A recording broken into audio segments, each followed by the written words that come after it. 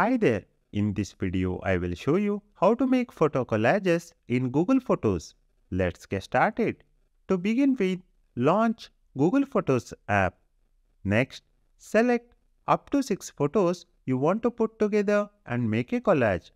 To choose the pictures, long press on the image.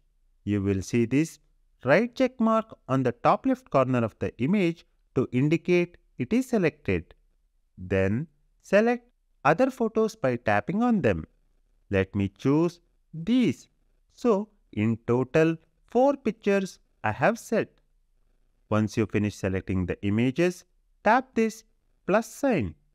You will get this page. Select Collage. It will create a collage.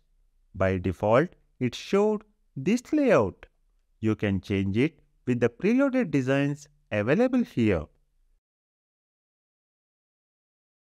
You can adjust the images within a collage by moving it or zooming by pinching out.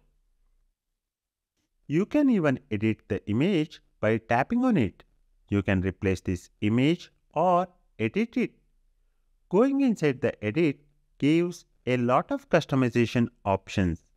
This includes crop, magic eraser, adjust the color tone, filters and markup.